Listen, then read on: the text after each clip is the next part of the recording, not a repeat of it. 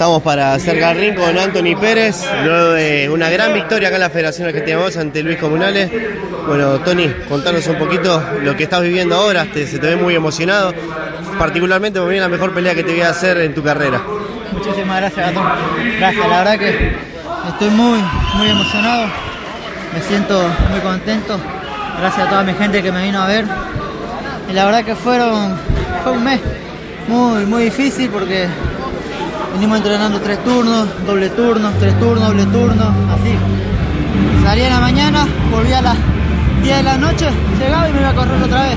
Así estuve durante todo el mes entrenando, entrenando, entrenando. Y estuve entrenando con Leonel Ríos, que él fue mi, mi entrenador en todo este mes porque Federico estaba en los Juegos Olímpicos. Sí. Y como no estaba bueno, quedó a cargo de Leo, junto a mi preparador físico que está por ahí, Alejo. No, Alejo, debe andar por ahí Alejo, pero la verdad que hicimos un muy, buen trabajo. Sabíamos al rival que nos íbamos a enfrentar, aparte una categoría más arriba de la, de mía.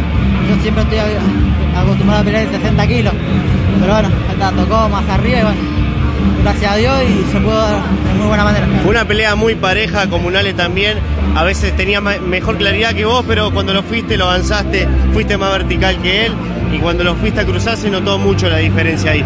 Tercer asalto, cuando le sacaste el bucal, me parece que ahí te diste cuenta que ya la balanza se estaba inclinando para tu lado, ¿no?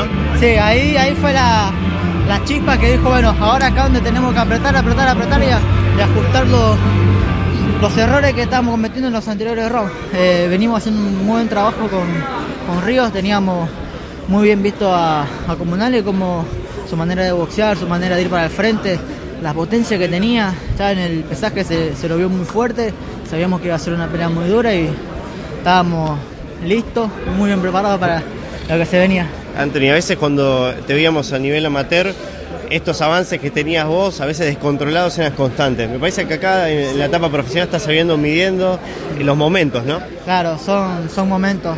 El primer round salimos a probar qué es, lo, qué es lo que tenía, qué tan fuerte era, porque sabíamos que era fuerte, pero sabía que iba a meter una, una que otra mano picante, sabíamos eso, estábamos bien preparados mentalmente y lo teníamos muy bien visto a Comunales.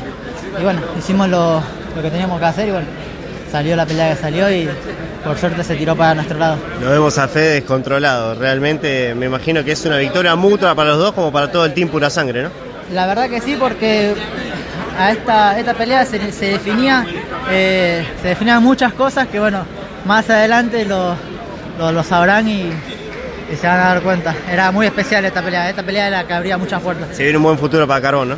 La verdad que sí, ahora sí se puede decir que sí. Felicitaciones. Muchísimas gracias, Gastoncito.